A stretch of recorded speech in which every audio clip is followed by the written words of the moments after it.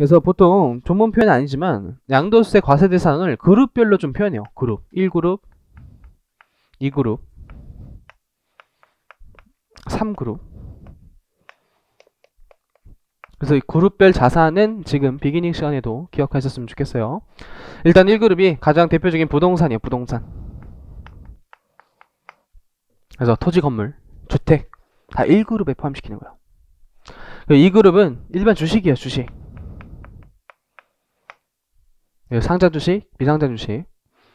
근데 상장 주식, 비상장 주식을 모두 과세하지 않기 때문에 어떠한 주식만 과세하는지 좀 2그룹에서 배울 거고 이제 상, 3그룹은 파생 상품이에요.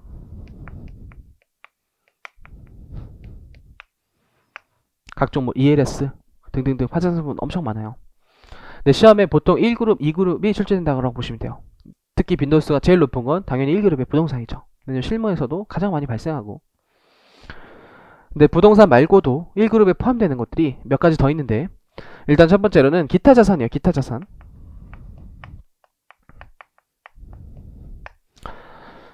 그 기타 자산, 기타에서 좀 배울 거고 그 다음에 좀 특이한 게 하나 뭐가 있냐면 주식인데 일명 부동산 주식이라고 하는 그 주식 내역의 회사를 봤더니 재무상태표가 다 부동산이에요. 그럼 그것도 사실 주식이 아니죠. 그 실질로 따지면 부동산인 거예요. 그래서 그 2그룹에 안 들어가고 1그룹에 들어가요. 그래서 부동산 주식이 또 특이해요. 그래서 왜 그룹별로 일단 구분을 해야 되냐면 첫 번째로 가장 중요한 건 세율이 달라요. 세율이 다르기 때문에 정말 중요하죠. 1그룹에 해당되는 것들은 일단 기본적으로 소득세에서 정한 6에서 42% 세율이 부과돼요. 기본 세율이. 그리고 주식은 10% 또는 20% 또는 금액이 컸을 때 30% 그래서 아예 단일 비례세율이 있다는 그냥 초과 누진 세율 아니고 그냥 10, 20, 30이요. 10, 20, 30. 여기는 초과 누진 세율이에요. 초과 누진 세율. 그럼 만약에 주식을 보유한 자가 본인이 유리하게 좀 세율을 낮게 양도세를 내고 싶다면 이 그룹에 구, 구분이 되는 게 이 그룹에 들어가는 게 유리한 거예요. 세율이 낮으니까. 그래서 부동산 주식 이런 게 생겨난 거고 안 되겠다. 얘는 1그룹이다. 이렇게 정해야 한 거예요. 주식이 아니라 부동산이니까. 일단 세율의 출발점이 달라요. 파생 상품도 기본적으로 10에서 20%인데 여기까지는 너무 지엽적이어 세율 몰라도 돼요. 일단 제일 중요한 게 세율이 다르고 그 다음에 양도소득세는 250만원의 기본 공제를 해줘요. 250만원 기본 공제라는 걸 해주는데 그걸 그룹별로 해줘요. 기본 공제를 그룹별로 해줘요. 그룹별로.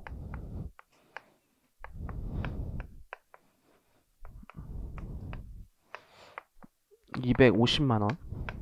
2.5 250이요. 그래서 자산별로 해주는 게 절대 아니에요 자산별로. 내가 만약 주택이 10채 있었어요. 그럼 10채에 대해서 각각의 기본공제 250 해주는 게 아니라 1그룹에 다 주택이 들어가기 때문에 딱 한 번만 해주는 거예요. 먼저 양도한 자산에서 해주는 거예요. 근데 주택 하나, 주식 하나 이렇게 양도했다. 그럼 주택에서도 250 받을 수 있고 주식에서도 250 받을 수 있는 거예요. 그래서 그룹별로 기본 공제라는 걸 실시하고 그리고 양도 양도 자산도 마치 결손금이 발생할 수 있어요. 왜냐면 오히려 시세가 떨어질 수도 있죠. 오히려 내가 샀을 때보다 떨어질 수도 있어요. 그럼 마이너스 금액이 나요. 그럼 그 결손금이라고 하는데 결손금을 다른 양도소득세 자산에서 공제를 할 수 있는데 그때 그룹별로 해줘야 돼요. 그래서 그 결손금을 양도소득세에서 양도차손이라 그래요. 양도차익이 아니라 양도차손도 그룹별로 해야 돼요. 그럼 부동산에서 마이너스 양도차세 나왔다. 주식에서 못 간다는 거예요. 주식에서 마이너스 나왔다. 부동산에서 못 간다는 거예요. 그룹별로만 공제할 수 있어요. 그래서 일단 그룹에 들어간 자산을 반드시 명확하게 기억하셔야 돼요. 또한 예정신고를 해야 돼요. 양도소득은 종합소득은 예정신고 이런 거 없었죠. 그냥 5월 1일부터 5월 30일 사이에 신고하면 되는데 양도소득세는 반드시 예정신고를 의무적으로 해야 돼요. 그래서 보통 2개월 내에 해야 되는데 이게 그룹별로 달라요. 예정신고가 1그룹은 양도일로부터 2개월 이내 해야 돼요. 정확히는 달의 말일부터 2개월이지만 일단 기본적으로 2개월 이내 해야 돼요. 2개월 이내. 근데 주식은 이제 주식을 보통 사고 파는 행위는 굉장히 많이 일어나죠. 너무 다양하기 때문에 2개월마다 하는 게 너무 복잡해요. 그래서 반기별로 해요. 반기별. 그래서 반기별 납부에 는 예정신고가. 반기별로 2개월 이내 해야 돼요. 묶어서. 그럼 1월부터 6월까지의 주식 양도를 모두 묶어서 8월 31일까지 예정 신고하는 거예요. 얘는 판날라부터 2개월이 하는 거고. 그래서 이것 때문에 실무적으로 실수 많이 해요. 왜냐면 주식을 어, 반기별 어, 아, 그 부동산 주식을 예정 신고부터 2개월 이내 해야 되는데 주식이라고 생각해서 반기에 해야지 이렇게 미루고 있다가 왜 안 나냐 해서 막 가산세까지 두드려 맞아요.